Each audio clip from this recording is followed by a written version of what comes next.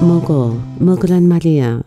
나도 당신이 죽어 없어졌으면 좋겠지만 굶어 죽게 놔둘 순 없어.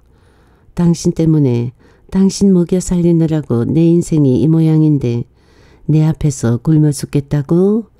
하 어림도 없지. 당신은 끝까지 살아서 내 저주를 견뎌야 해. 내가 착한 인간이 아니라는 건 당신이 더잘알 거야. 그리고 당신이 없으면 내 인생이 너무 심심해. 앞으로 내가 당신한테 어떻게 하는가 당신 눈으로 똑똑히 봐. 알았어?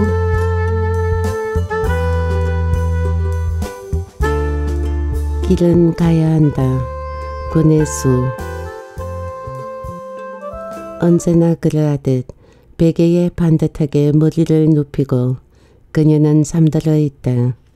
밤 2시의 어둠까지도 반사할 듯한 희다못해 창백한 피부와 독특한 감동을 주는 섬세한 얼굴과 목의 선 하루도 그 아름다움에 질투를 느끼지 않은 적이 없었던 얼굴이 무방비 상태로 지금 나의 사리 앞에 잠들어 있대.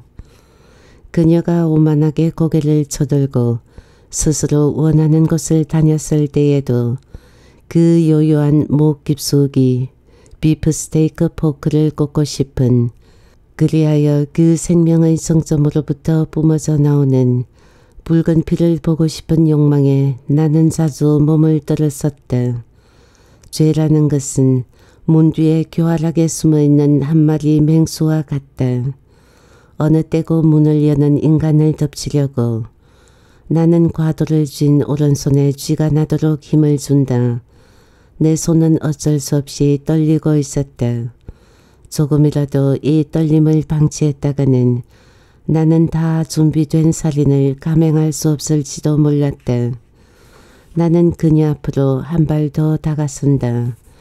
이제 내 운명은 여기서 돌이킬 수 없다는 것을 느낀다. 돌아서기엔 그녀가 너무 가까이 있었다. 나는 잠시 호흡을 가다듬기 위해 눈을 감는다.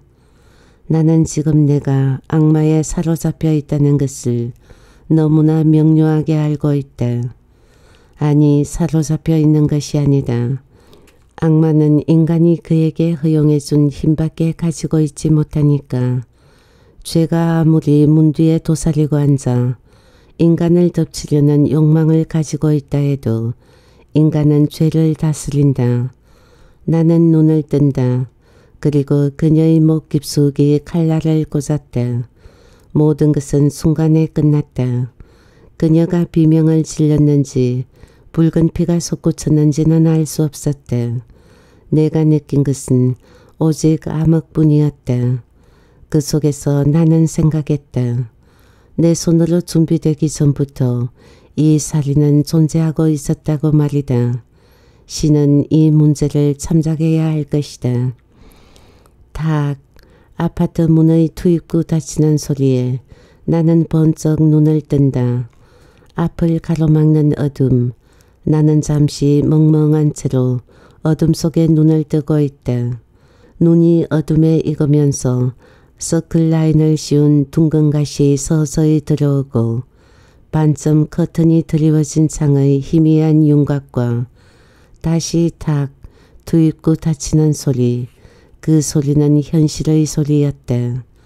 나는 비로소 내가 내 방 내 침대 위에 누워있다는 것을 안다. 나는 눈앞에 오른손을 들어본다. 과도도 들지 않고 죽음의 피도 내 손엔 묻어있지 않았다. 꿈이었다. 꿈이었다는 것을 안 순간 아 나도 모르게 깊은 안도의 숨이 새어나오고 온몸에 뒤늦게 진땀이 배어난다. 조금 전의 사리가 너무 생생해서이다. 더구나 그 사리는 내가 날마다 눈을 뜨고 꾸는 꿈이기도 했다. 세 번째 투입구 여닫히는 소리에 나는 침대 사이드 테이블 위에 놓인 시계를 본다. 새벽 4시 10분, 4시 11분을 전후해서 세 개의 조간신문은 어김없이 현관에 떨어진다.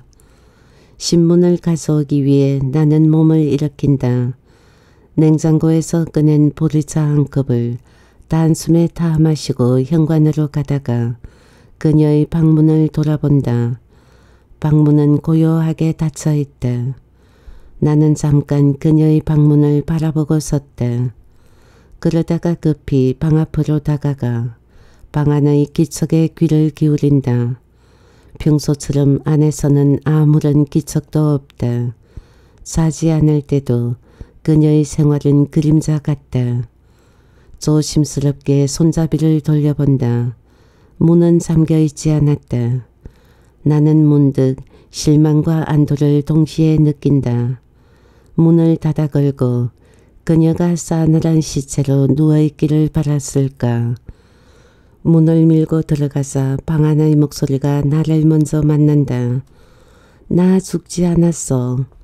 아무런 감정도 무게도 느낄 수 없는 그래서 오히려 이쪽을 긴장시키는 음성. 다음 순간 코를 찌르는 냄새에 나는 고개를 돌린다. 나는 발작적으로 스위치를 누르고 그녀가 덮고 있는 이불을 확 끄덕챈다. 냄새는 더 고약하게 코를 찌른다. 속이 울렁대며 뒤집어진다. 내가 미쳐. 내가 미친다니까. 악취는 2, 3일에 한 번, 어느 때는 하루에도 두어 번 내 인내심을 시험하듯 일어난다. 이럴 때마다 내 신경은 핵폭발을 일으킨다. 그러나 미치겠다는 내 짜증이 얼마나 웃기는 일인가는 내가 더 잘 안다. 짜증으로 개선시킬 수 있는 것이 아니기 때문이다. 제발 이 배설만 없어도 그녀와의 동거가 훨씬 쉬울 것 같다. 내 살이는 이때 더욱 격렬한 것이 된다. 그녀는 눈을 감고 여전히 고요하게 누워있다. 그녀가 지금 치르고 있는 이 처절한 절망과 수모감을 나는 모르지 않는다. 내 폭발을 고스란히 견디고 있는 그녀에게 나는 차츰 무색해지고 이었고 체념하고 만다. 이럴 때 그녀 옆에 놓인 성경은 차라리 희극이다. 나는 그녀가 아직도 신에게 구할 은총이 남아있는지 의아스럽다. 내가 보기에는 그녀는 은총에 대한 희망 자체에서조차 내 던져진 인간이었다. 하기야 인간에게 희망을 포기한다는 것은 슬프게도 죽은 뒤에나 가능한 일일 터였다. 이것은 모욕이다. 게다가 신의 실체를 보자 그는 휠체어에 앉아보지도 않았고 그 인생을 오로지 타인의 자비와 정오심에 의지해 본 적도 없다. 그에겐 고통에 대한 경험이 없고 그것을 극복하고자 한 훈련도 없다. 그는 가벼운 변덕만으로도 안전뱅이를 일으킨다. 인간의 고통을 위로하는 데 있어 종교 지도자들이 가장 도움이 안 된다는 통계는 무엇을 말하는가? 방금 전의 불맞은 것 같은 발작과는 달리 나는 그녀 옆에 준비해 놓은 일회용 비닐 장갑을 낀다. 화장지와 물티슈도 사용하기 쉽게 옮겨 놓는다. 이 순간 그녀와 나의 역할은 누구도 대신해 줄 수 없는 것이다. 자성으로 해결될 수 있는 문제도 아니었다. 배설물을 치우는 내 손길은 따라서 조용하고 능숙하고 일상적이다. 그녀도 벗겨진 아랫도리를 아무런 저항 없이 내게 맡기고 있다. 비정상적으로 가느다란 다리, 어린아이 같이 희고 연약한 피부, 최소한의 반항조차 잃어버린 육체가 때때로 나를 슬프게 한다. 그럼에도 유일하게 살아있는 듯한 검고 무성한 채모, 기저귀와 뒤를 닦아낸 티슈 장갑을 비닐봉지에 싸서 쓰레기 봉투에 버린 뒤 나는 그녀를 벗긴 채로 휠체어에 앉힌다. 휠체어에 옮겨 앉히는데도 요령이 필요하다. 창문과 베란다까지 다 열어놓고 휠체어를 밀고 나는 욕실로 간다. 베란다 유리문 밖에는 비구승의 머리 같은 새벽빛이 머물러 있다. 그녀를 변기 위에 옮겨 앉히고 나는 샤워기로 온몸에 물을 뿌린 다음 비누칠을 하고 씻긴다. 때로는 거칠게 때로는 그래도 성의를 다하여 씻긴다. 머리도 감긴다. 그녀의 피부는 찐 달걀의 속살처럼 아름답다. 그리고 진달래 꽃빛 같은 젖꼭지. 손은 사용할 수 있기 때문에 아래를 씻는 것은 그녀가 한다. 뒷물을 할 때는 나는 밖으로 나와 잠시 다른 일을 본쳐 가고 들어간다. 적어도 겉모양이 이런 일상적인 관계가 되기까지 내가 그녀와 치른 분노와 정오의 전쟁은 치열한 것이었다. 그녀를 휠체어에 들어앉히다 말고 털썩 놓아버리고는 바닥에 두 다리를 뻗고 울부짖었던 시간들, 끼니조차 주지 않았던 증오, 머리를 감기면서 수없이 잡아 흔들었던 그 머리채, 너 때문에 내 인생이 이게 뭐냐고, 너 때문에 내 인생이 뭐냐고 말이다. 결코 내가 맡을 배역이 아님에도 억지로 내게 주어진 역할, 그 배역과 나는 5년째 전쟁을 치르고 있는 중이다. 그것은 내 운명과의 사투이기도 했다. 다시 그녀를 침대에 눕혀 새 기저귀를 채운다. 편한 홈웨어를 입혀 휠체어에 앉게 했을 때는 4월의 아침이 환하게 밝아 있었다. 나는 지쳤다. 싱크대 수납에서 담배갑과 라이트를 꺼내 거실벽에 두 다리를 세우고 기대 앉는다. 담배 연기를 내뿜을 때는 희로애락을 다 초월한 것 같다. 나는 시간을 들여 담배를 피운다. 내 실수는 망연하다. 머릿속에는 아무 생각도 없다. 맞은편 아파트의 닭장 같은 베란다들이 담배 연기 속에 환영처럼 아득하다. 담배 한 개비를 다 피우고 나서도 나는 한참을 그렇게 앉아있다. 그러다 거실 바닥에 쪼그리고 눕는다. 현관에는 아직도 신문과 우유가 그대로 떨어져 있다. 나는 깜빡 잠이 든다. 스팀이 들어와 따뜻한 거실 바닥에서 나는 한 시간 동안 잤다. 우거지 된장국과 병어구이로 그녀와 나의 아침을 준비했다. 그녀는 아침을 먹지 않겠다고 했다. 배설은 그녀의 선택이나 의지 밖의 것이지만 식사 거부는 그녀가 유일하게 할 수 있는 선택이고 의사표시이다. 하기야 밥이 넘어간다는 것도 모욕이다. 나도 내 밥숟가락에 먹고자 하는 욕구에 모욕을 느낀다. 두어 번 거절에도 불구하고 나는 그녀의 휠체어를 끌어다 식탁 앞에 앉힌다. 속으로 꼴값한다는 생각이지만 여기까지는 참는다. 내가 밥 한 공기를 비울 때까지 그녀는 수저를 들지 않고 있다. 내 증오가 또 폭발한다. 다른 때 같으면 그래 굶고 싶으면 어디 굶어봐 무시하고 나 혼자 먹고 만다. 그러나 오늘 아침엔 속에서 불길이 치솟는다. 나는 급기야 그녀 자리로 건너가 숟가락을 강제로 그녀 입에 쑤셔 넣는다. 먹어, 먹으란 말이야. 나도 당신이 죽어 없어졌으면 좋겠지만 굶어 죽게 놔둘 순 없어.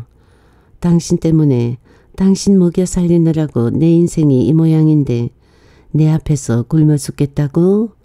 하, 어림도 없지. 당신은 끝까지 살아서 내 저주를 견뎌야 해. 내가 착한 인간이 아니라는 건 당신이 더 잘할 거야. 그리고 당신이 없으면 내 인생이 너무 심심해. 앞으로 내가 당신한테 어떻게 하는가 당신 눈으로 똑똑히 봐. 알았어? 밥을 받지 않으려고 그녀는 꽤 완강하게 도리질을 한다. 그 바람에 국그릇이 식탁 밑으로 폭석 엎어진다. 모노륨 바닥을 제멋대로 미끄러져 간 국물이 내 발을 적신다. 의외의 반항이다. 내 공격은 한층 감정적이 된다.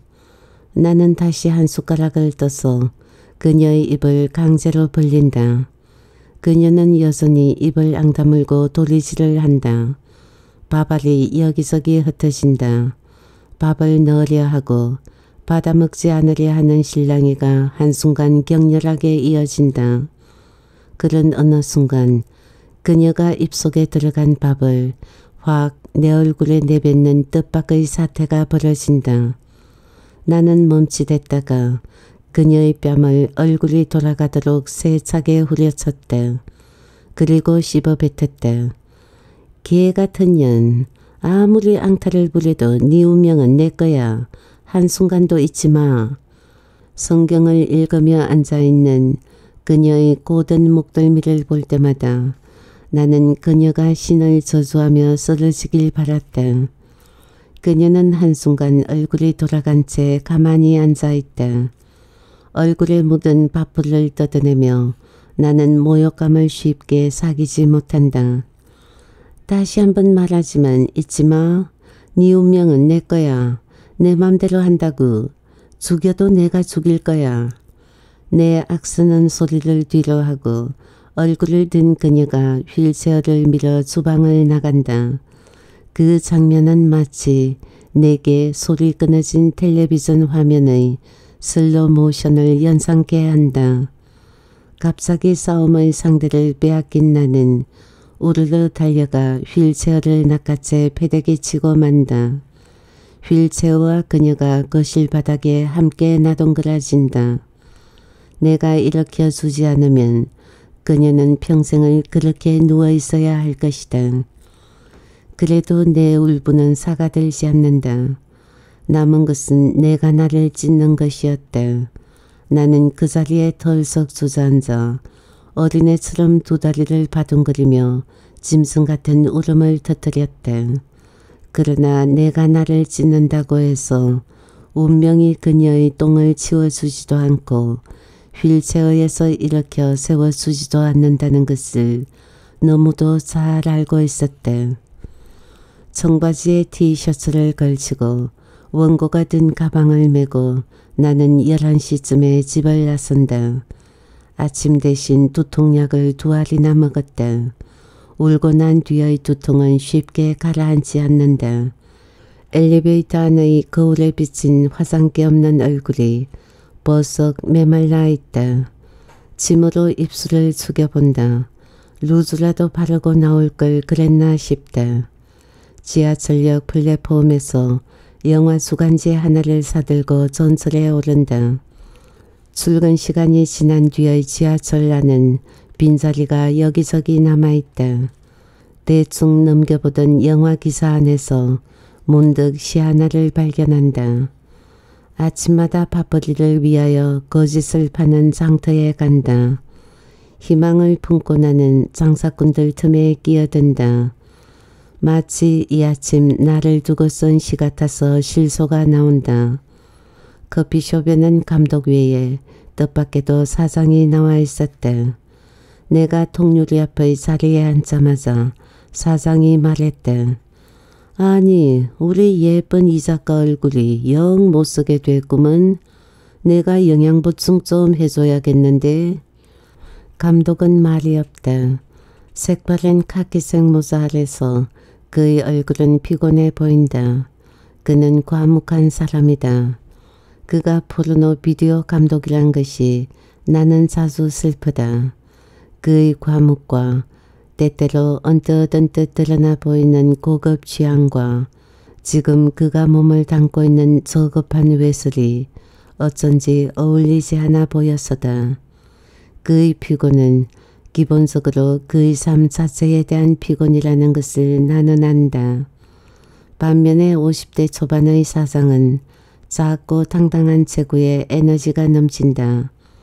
어디로 튈지 모르는 럭비공 같다. 나는 사상의 말에 대꾸하지 않는다. 그런 유의 대사는 무시하는 게 최고니까. 안녕하세요.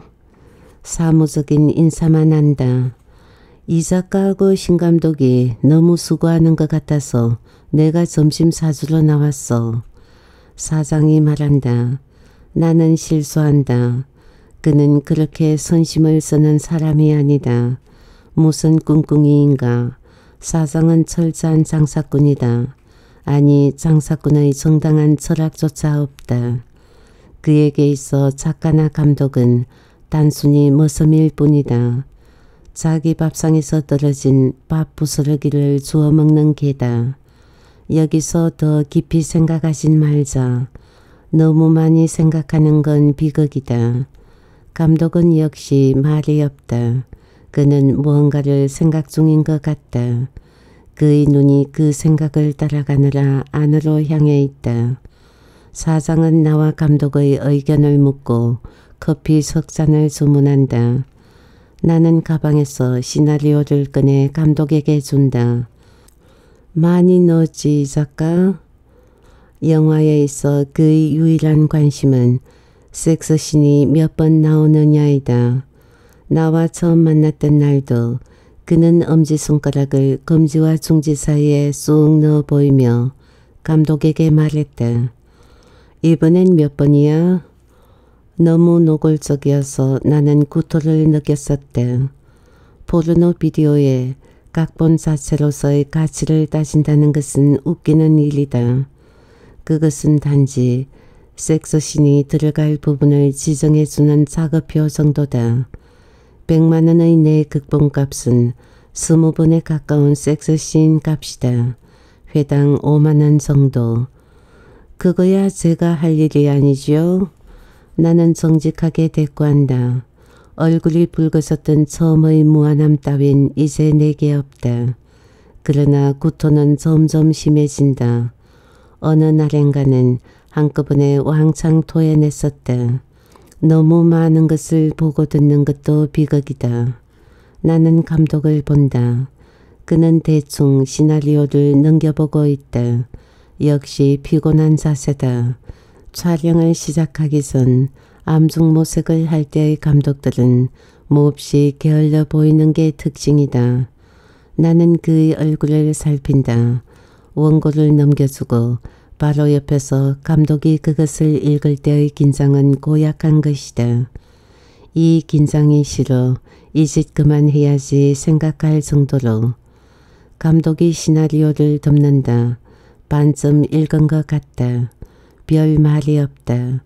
이렇다 할 표정도 없다. 작품 내용은 이미 그와 내가 충분히 상의를 했었다.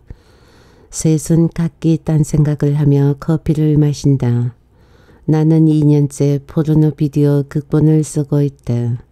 네 번의 신춘문예와 세 번의 장편소설 공모에서 낙선을 한 뒤였다. 그만큼 생계가 절박했기 때문이었다. 작가가 되는 문제는 유보할 수 있어도 먹고 사는 일은 유보할 수 없는 문제였다. 처음 안면을 내세워 극본 제의를 받았을 땐 말한 사람을 잡아먹을 듯이 펄펄 뛰었었다. 그러나 결국 가명을 내세워 쓰기로 했다.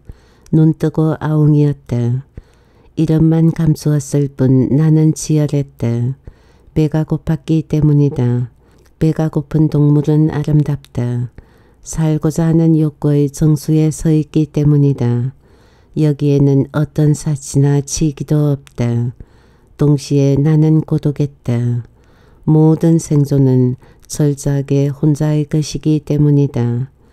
그 바닥에서 신감독을 만난 것은 작은 행운이었다.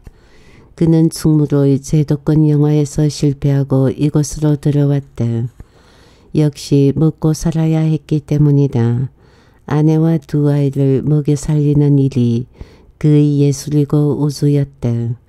우리는 서로에게 연민을 느꼈다. 그는 나의 생존의 조건을 동정했고 나는 그의 생존의 조건을 이해했다.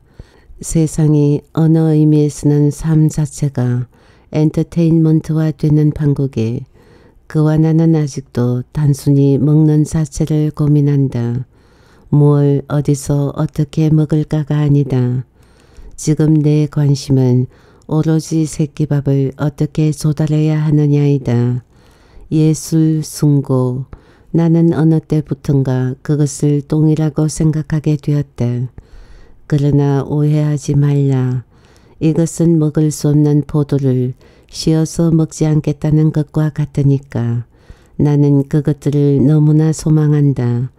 섹스신은 몇백 번을 집어넣는다 해도 내 스스로 생각하는 윤리의 마지노선은 있다. 삶이 영화의 모델이 아니라 영화가 삶의 모델이 된 세상이다. 그걸 생각한다면 내가 하는 작업에 최소한의 두려움은 가져야 하니까. 점심하러 나가서 세 사람은 커피숍에서 가까운 한식집으로 자리를 옮긴다. 감독은 피곤한 표정을 풀지 못하고 있다. 사상의 어휘의 선심에 신경이 쓰이는 기색이다. 혹시 어디 불편한가 해서 내가 어디 아프냐고 물었다. 아니, 그는 선선히 대답했다. 그럼 얼굴 좀 푸세요. 풀지 뭐. 그는 자기의 얼굴을 쓱쓱 문지른다. 시나리오 어때요? 집에 가서 차근히 읽어봐야지. 신경 쓰지 마. 시나리오를 크게 고치는 일은 별반 없다. 어차피 격조를 포기한 작업이어서 편하게 풀어놓고 쓴다. 조금 미흡한 부분은 필력이 꽤 있는 신감독이 콘티를 짜면서 고친다. 한 달에 한 편 정도의 시나리오를 나는 쓴다. 그 작업을 거의 신감독과 하고 있다. 포르노 시나리오를 쓰면서 나는 가끔씩 엉뚱한 생각을 하곤 한다. 밤마다 이 지구를 뒤덮는 섹스의 양은 얼마만큼의 무게일까 따위의 한순간에 지구의 표면을 기하학적인 무늬로 수놓을 섹스의 다양한 체위들에 대해서 땅콩 하나의 영양가밖에 없다는 정액의 가공할 만한 힘에 대해서 날마다 지구는 그 비릿한 냄새로 구토를 하지 않을까 따위의 한식집은 꽤 이름이 있는 집이다. 홀은 없고 별반 넓지 않은 정원을 가운데 두고 방들로만 이루어져 있다. 방마다 손님들이 들어있다. 주인 여자가 안내해준 방에 겨우 자리를 잡고 앉았다. 이미 한켠에는 네 사람으로 이루어진 다른 팀이 식사를 하고 있다. 사장은 3인분의 식사 외에 맥주와 수육 한 접시를 더 주문한다. 무슨 내용인지 알아야 밥이 넘어갈 것 같은데요. 내가 말했다. 가시가 있다. 역시 이 작가는 빨라. 그는 내가 먼저 운을 뗀 것에 흔쾌해한다. 손님을 대접해야 할 때 외에는 사장은 이런 집에 잘 오지 않는다. 그의 인간 다루기는 놀랍다. 일단의 충무로 기성 감독들에 대한 그의 공손함과 깍듯함은 소문이 나 있다. 일종의 미끼다. 그들이 상처, 그의 밥상에서 떨어진 밥부스러기를 먹으러 올라를 위해 그들이 오히려 그를 개새끼로 보거나 말거나 낚시밥 같아? 낚시밥이라도 먹고는 봐야지. 자자 이 작가부터 한 잔 받지. 사장이 먼저 나온 맥주병을 든다. 이 작가 이 작가 하지만 그가 나를 어떻게 생각하고 있는가는 잘 안다. 감독들이 데려온 여배우마다 따먹는다는 소문이 있는 그가 나를 보는 시선도 꽤 불쾌하다. 나는 미모는 아니지만 균형 잡힌 몸매에 탄력 있고 가무잡잡한 피부가 매력적이라고들 했다. 속된 말로 새끼나 쓰게 생겼다는 뒷소리를 듣고 있다. 점점 예뻐지느니 하는 사상의 실없는 소리에도 그런 색깔이 있어 경계한다. 신감독과 나를 두고 두 사람은 별일 없는 거지 하는 말을 농담만은 아니게 하고 다닌다. 이것도 너무 깊이 생각하진 말자. 이 하수구 문화에 대해서는 더구나 그렇다. 지하 속 썩은 물살에 떠내려 가지 않기 위해서는 여기에 둔감할 필요가 있다. 어느 날인가 나는 저 무대 위의 객석을 깨우는 총소리를 울리며 나타날 것이다. 당장 눈앞의 사상이 나를 어떻게 생각하든 상관하지 않을 수 있다. 기꺼이 감내한다. 지금 내가 하는 일을 경멸하지도 않는다. 내 일용할 양식을 경멸하는 것은 곧 내 삶을 경멸하는 것이다. 무엇보다 이 하수구에는 충분한 건전함이 있다. 룸살롱에서 딸 같은 아이의 몸을 더듬느니 가끔씩 젖소 부인 바람난 내를 빌려와 아내와 그 짓을 한다면 좋은 일 아닌가. 그들이 타르코프스키의 영화나 존테일이나 꽃잎을 보지 않는다고 경멸할 권리는 누구에게도 없다. 이 16밀리 세계는 분명 또 하나의 거대한 문화다. 이 빨간 딱지 영화는 비디오 가게의 매상을 확실하게 올려준다. 작년에 순풍을 일으켰던 신감독의 비디오들은 넥타이 부대에서부터 입소문이 났다. 그러나 이것으로는 부족하다. 충분한 건전함만으로는 그래서 유행가의 가사처럼 하루에도 몇 번씩 나는 초라해지고 하루에도 몇 번씩 나는 또 위대해진다. 사장은 우적우적 새우젓에 찍은 수육을 먹고 감독은 맥주를 마시고 나는 우거지 된장국의 국물을 뜬다. 세 사람의 식사는 영 보조가 맞지 않는다. 무 생선 조림 고들빼기 김치 계란집 곤쟁이 젖이 젓가락 오기를 기다리고 있다. 무슨 얘긴지 하시죠? 신감독이 먼저 운을 뗀다. 사장은 수육을 한 점 더 먹고 나는 따라 놓은 맥주를 마신다. 맥주는 이미 시원한 맛이 사라졌다. 신감독 작품도 이번에는 상하로 만드는 게 어때? 사장이 말했다. 만드는 게 어때? 정중하지만 이건 곧 만들라는 말이다. 사장으로서는 신감독을 대접하는 것이다. 그의 집에서 신감독이 제일 작품을 많이 만들었고 그의 비디오가 제일 인기가 있다. 신감독은 비디오 업계의 이를테면 스타 감독이다. 그럼 시나리오를 다시 써야죠. 신감독은 순진하다. 아니 순진한 척 한다. 다른 회사에서는 대개의 감독들이 이미 상하편을 만들고 나와 신감독이 속해 있는 인필름에서도 몇몇 감독이 상하편으로 출시를 하고 있다.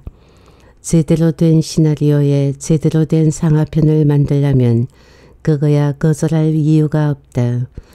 문제는 한편 분량을 같은 제작비로 조금 넉넉하게 찍어 편집 과정에서 두부모 자르듯 반으로 딱 자른다는 것이다. 그것이 상하편이다. 사상은 지금의 시나리오에 섹스신 몇개 더 넣으면 상하편이 되는 것으로 생각하고 있다.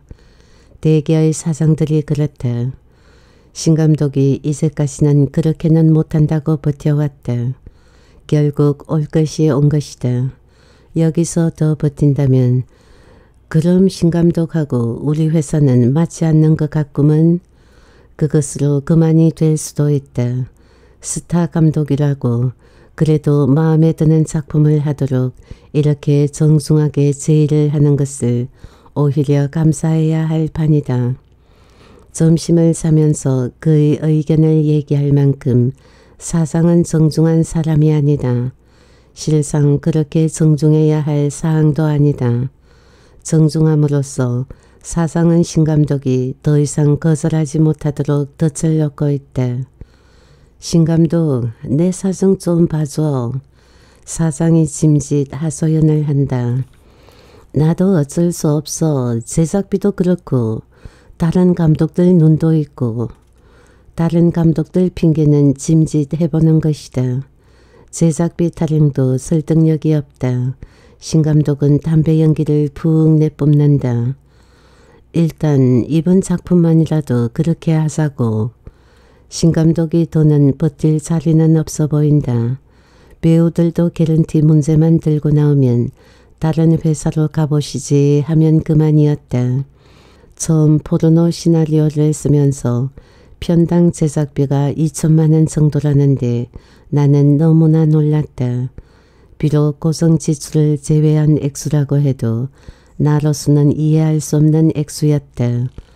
2천만 원으로 비디오 한 편이 가능한 이유는 이랬다. 감독료 150만 원, 주연 배우 200만 원에서 300만 원, 그리고 열흘간의 촬영 진행비였다. 그 외 촬영이니 조명이니 하는 스태프들은 거의 회사에 속해 월급을 받는 월급쟁이들이었다. 130만원짜리 월급쟁이 감독도 있었다.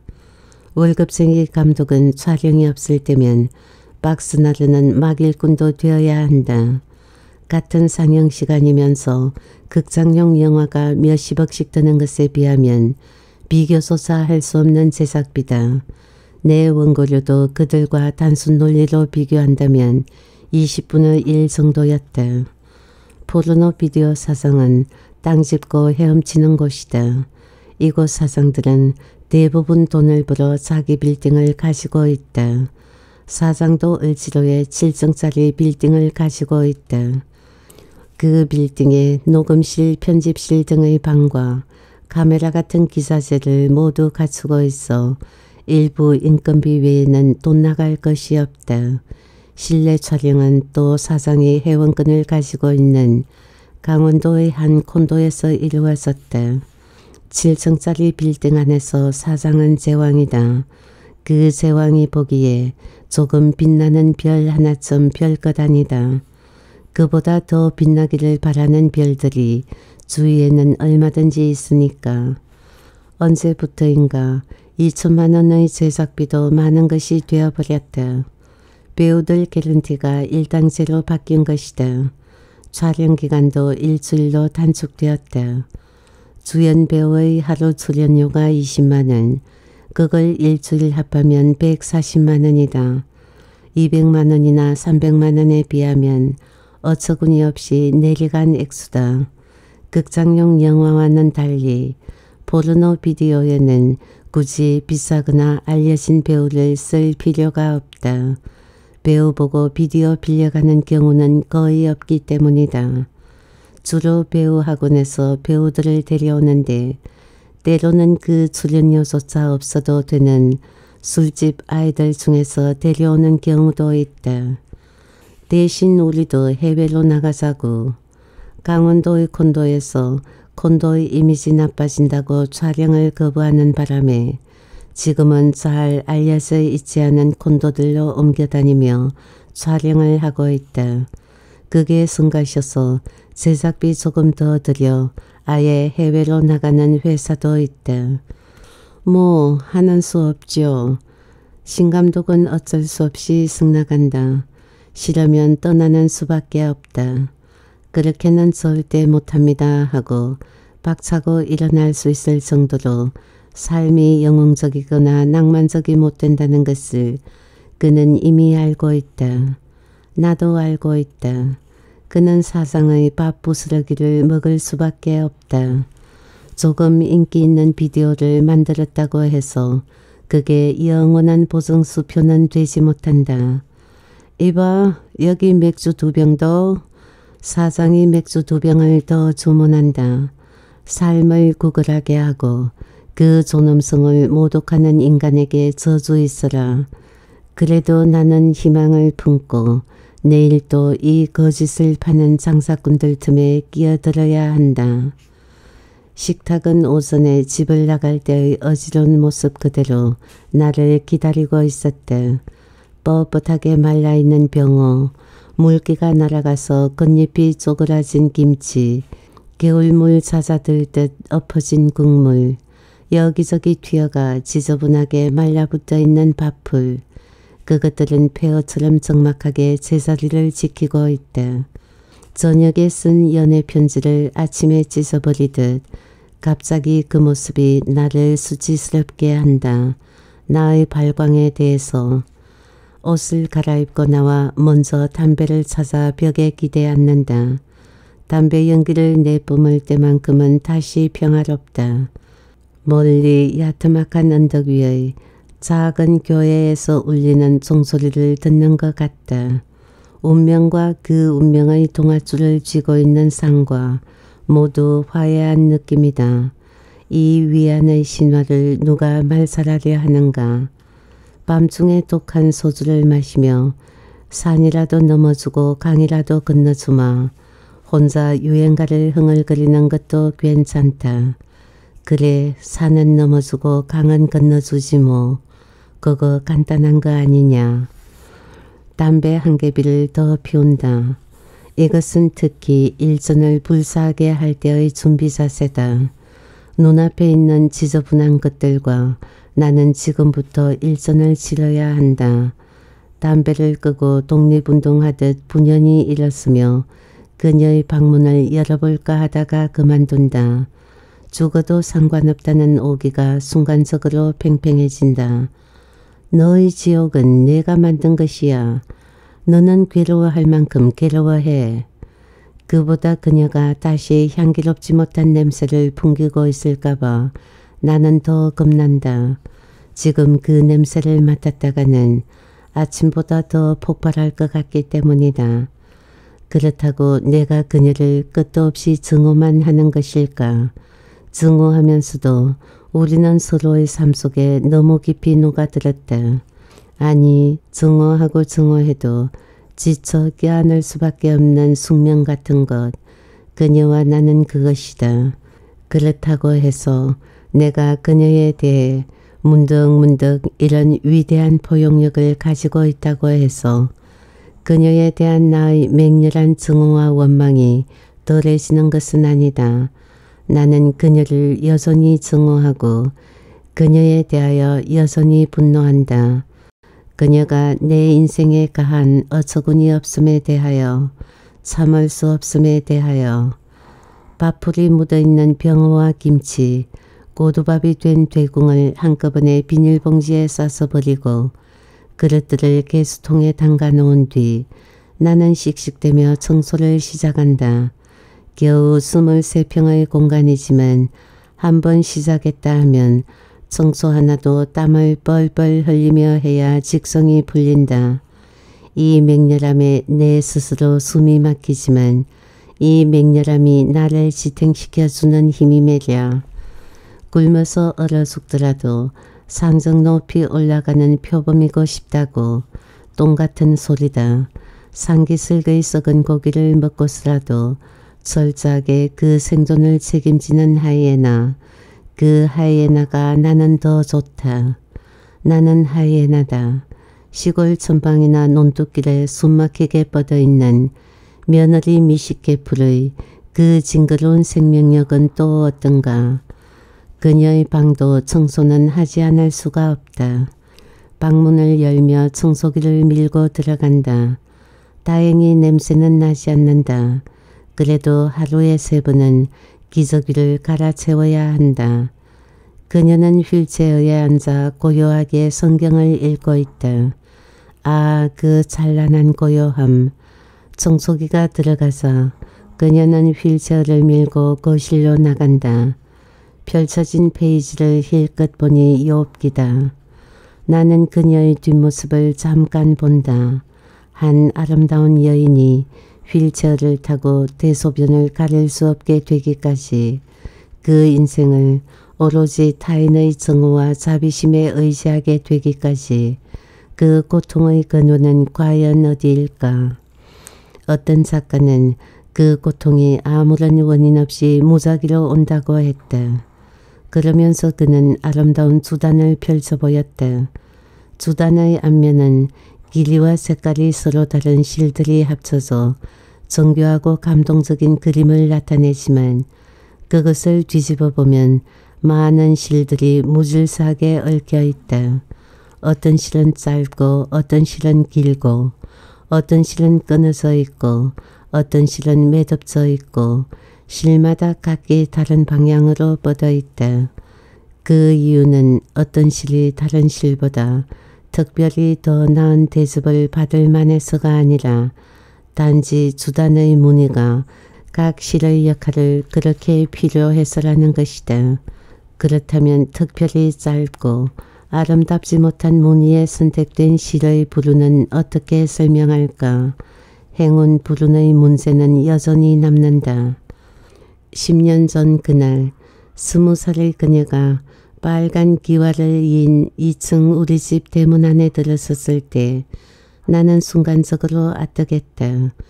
그 아득함 속에 이미 오늘의 비극을 보고 있었던 것일까. 분명 보았다. 그러나 이렇게 어처구니 없고 가혹하게는 아니었다. 삶이란 그렇게 가볍지도 무겁지도 않다고 인생의 상상력은 언제나 인간의 상상력을 압도한다. 우리 집 정원에는 벚꽃과 목련이 흐드러지게 피어 있었고 나는 2층 내 방 창가에서 아버지와 함께 들어서는 그녀를 보고 있었다. 대문을 열어주러 나간 어머니가 두 사람을 맞았다. 나는 아래층으로 내려갔다. 현관에 아버지와 어머니 그녀 세 사람이 들어섰다. 나는 다시 아득해졌다. 바깥의 봄날처럼 찬란한 젊음과 아름다움을 그녀에게서 동시에 보았다. 그 아름다움은 그러나 서늘하고 선해 보였다. 여윈 듯한 눈과 얼굴에 독특한 감동이 있었다. 아버지는 들떠있고 상기되어 있었다. 그런 아버지의 모습을 나는 난생 처음 보았다. 밝은 햇살 아래서 아버지를 본 기억도 내게는 거의 없었다. 우리 가족에게 있어 아버지는 성주였다. 그처럼 위압적이었고 정말 성주처럼 얼굴을 보기 힘든 존재였다. 그 아버지가 나머지 자식 앞에서 그토록 즐거워하는 것에 나는 모멸감과 배신감을 동시에 느꼈 다. 18살의 나는 너무나 조숙했다. 세상과 인간을 바라보는 눈에 이미 직관이라는 것을 가지고 있었다. 평화로운 도시가 군합발을 짓밟히듯 머지않아 그녀의 선한 아름다움이 우리 집 안에서 무너지리라는 것을 나는 직감했다. 아버지의 들뜸이 내게는 단순해 보이지 않았다. 내 나이 15살 때 이미 나는 작가가 될 수밖에 없는 숙명을 가지고 태어났다고 생각했다. 동화 적인 꿈으로서 작가가 아니었다. 그 나이 때도 내 삶은 동화가 아니었다. 행복한 작가가 못 될 것이라는 것도 알았다. 나는 지금도 어느 순간 섬광처럼 눈앞을 스치는 이미지나 꿈을 두려워한다. 아버지는 사업가였다. 구로공단과 인천의 탄탄한 기계제품 공장을 두 개나 가진 짭짤하게 성공한 사업가였다. 아버지의 귀가는 항상 늦었다. 네 살 터울의 오빠와 나는 늘 아버지를 보지 못하고 잠이 들었다. 집에 들어오지 않은 날도 많았다. 그것이 순전히 바쁜 사업 때문이었는지 또 다른 이유가 있어서였는지 거기에 대해서는 관심이 없었다. 기실 나는 아버지의 귀가 여부에 대해서는 관심이 없었다. 집안에서의 숨막히는 아버지의 존재를 나는 증오했다. 아버지는 가족을 억압하는 독선적이고 부정적인 권력의 다름 아니었다. 그 권력에 가족 모두가 심한 내상을 입고 있었다. 나는 아버지가 차라리 독립운동을 하느라 집을 떠나 있거나 매일 파산을 하고 초라하게 돌아오는 편이 더 나을 것 같았다. 무능하고 소심했던 어머니는 생활의 대부분을 돌아오지 않는 아버지를 기다리는 고통과 외로움 속에서 견뎌야 했다. 그것은 살인문 부여잡고 님을 기다린다는 등의 안타깝되 낭만적인 영상은 결코 아니었다. 아버지를 기다리는데 절망한 어머니는 오빠와 내가 고학년이 돼서 매일 밤 골목 외등 밑에서 학원이다 가외 수업이다 하여 늦게 돌아오는 우리 남매를 기다리는 것으로 자신의 운명을 집약하였다. 때로는 눈 속에 때로는 빛 속에 때로는 차가운 밤한개를 배경으로 절망의 영상이었다. 그 영상을 내가 어떻게 나를 찢지 않고 감당할까. 불행한 부모는 불행한 자식을 만든다. 그러나 그때의 불행에는 아직 여유가 있었다. 얼마든지 낙원으로 되돌아갈 수 있는 그 여유가 그녀가 우리 집 대문을 들어선 그 순간부터 낙원으로 돌아갈 수 있는 길을 나는 영원히 잃어버렸다. 그녀는 아버지의 고향에서 왔고 막 입학식을 치른 대학 신입생이었다.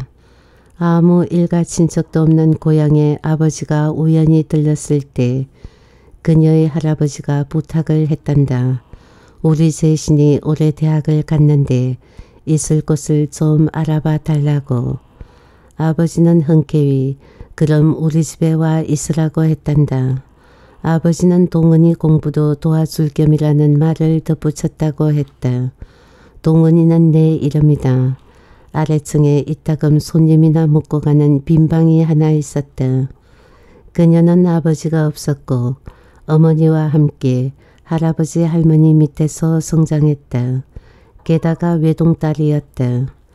악마는 우리에게 어떤 모습으로 다가오는 것일까?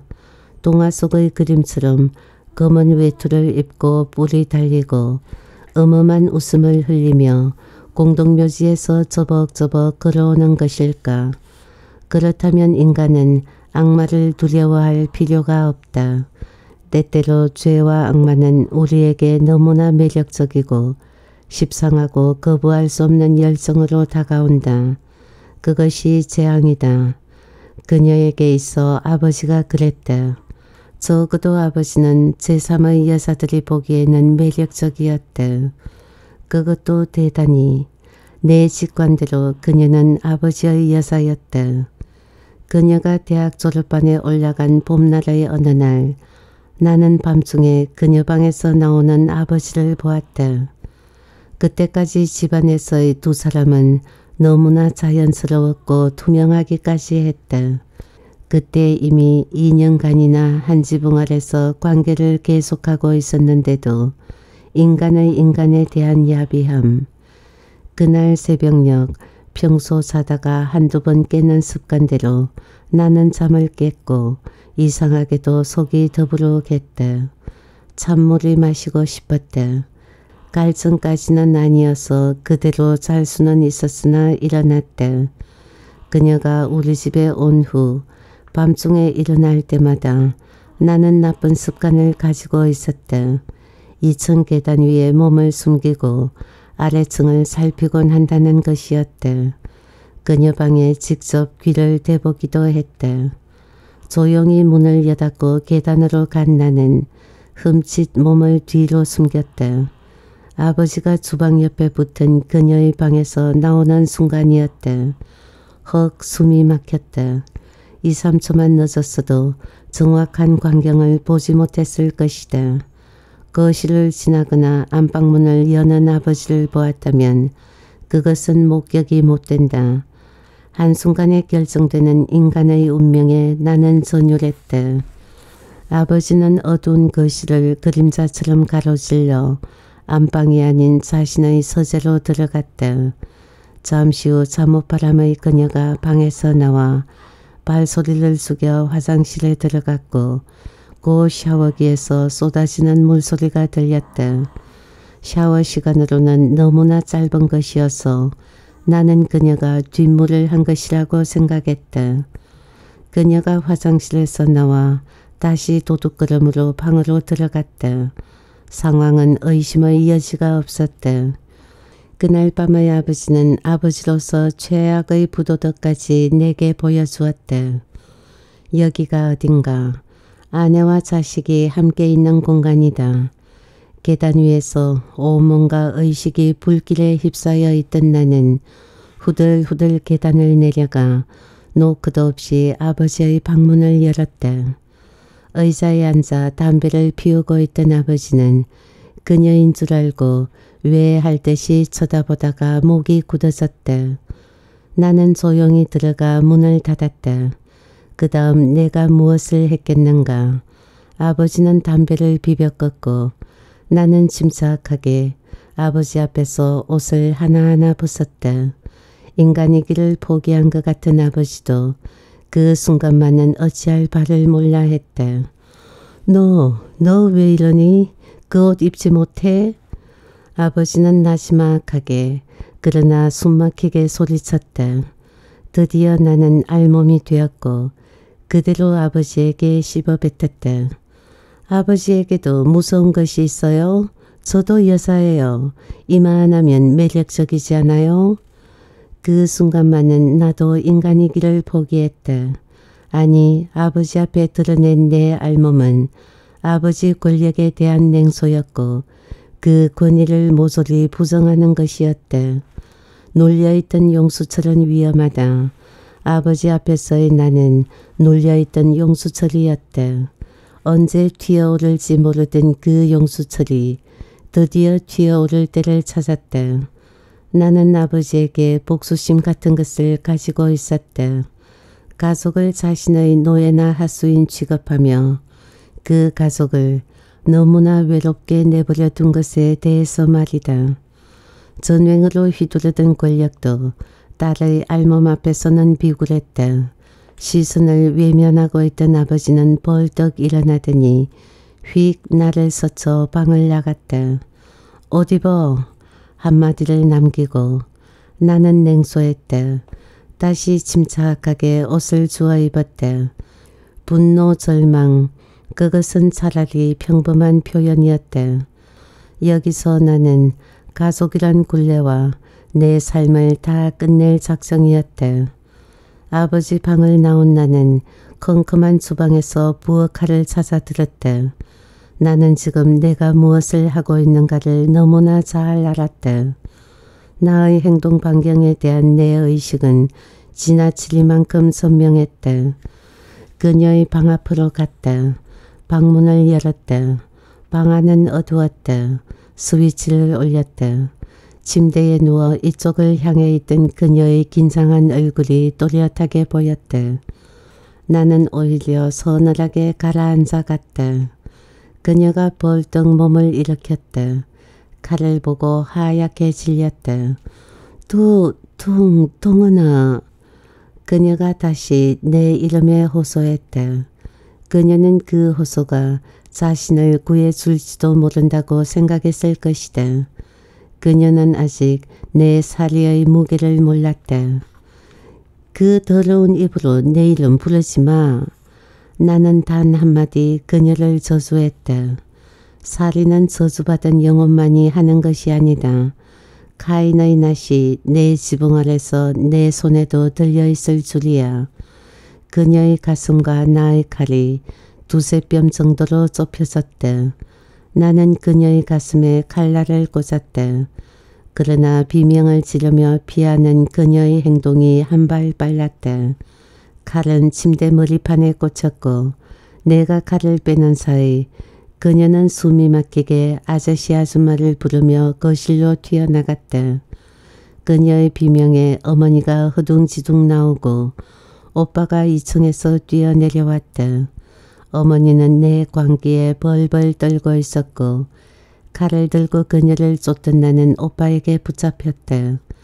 뒤늦게 정원에서 아버지가 들어오는 게 보였고 한순간에 급격하게 에너지를 소모한 나는 오빠에게 잡힌 채 벌벌 떨다가 쓰러졌다. 그 뒤는 알 수 없다. 눈을 떴을 때는 병원에서 수액을 꽂고 누워 있었다. 그때 내 눈에 들어온 어머니, 창밖을 보며 망연히 앉아있는 어머니는 살아있는 생명이 아니었다. 병실에는 어머니 혼자였다. 나는 수액 바늘을 빼내 던지고 일어나 앉았다. 어머니가 놀라서 나를 보았다.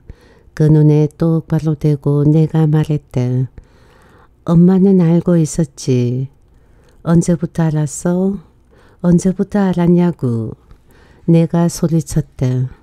처음부터 어머니가 겁먹은 목소리로 대답했다. 그런데도 오늘까지 참았단 말이야. 엄마가 사람이야? 그러고도 엄마가 사람이냐고. 나는 어머니를 마구 잡아 흔들었다. 어머니는 내가 흔드는 대로 아무 의지 없이 흔들렸다. 골목 외등 밑에 서 있던 어머니를 볼 때마다 나는 소리치고 싶었다. 엄마 제발 이러지 마. 왜 이렇게 살아?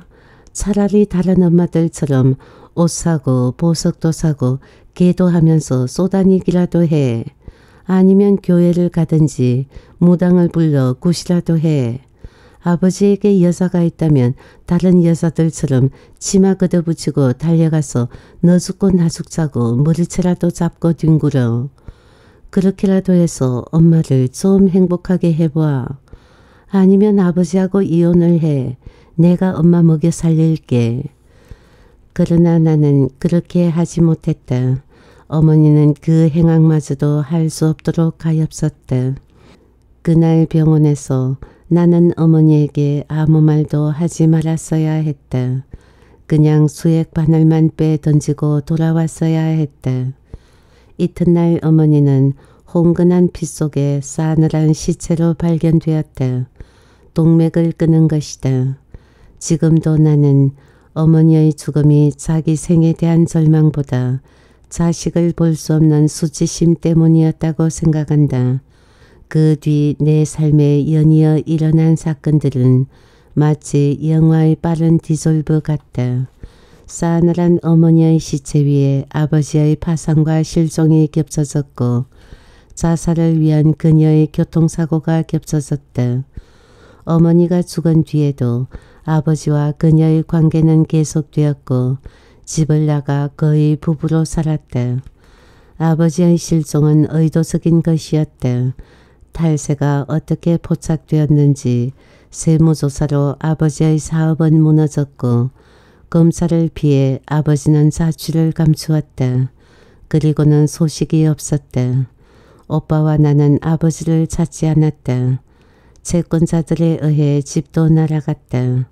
어머니처럼 소심해서 내 삶에서 늘 배경 같았던 오빠는 도피하듯 지긋지긋한 이 땅을 떠났고 그녀는 경춘가도에서 강아래로 차를 접어갔다. 그 뒤 다시 두어 차례의 자살기도 그것은 선홍색 몽타주로 내게 각인되어 있다. 더 어처구니 없는 것은 그녀의 조부모는 늙었고 그녀의 어머니는 재가를 해서 그녀의 삶 전체가 덜컥 내게 던져졌다는 것이었다. 아버지는 6년째 실종 중이다. 그녀도 나도 아버지의 피해자였다. 독재 권력의 피해자였다. 청소를 끝내고 샤워를 하는 것으로 나는 집안일을 마무리한다. 그러나 팔자 좋게 책상 앞에 앉을 수가 없다.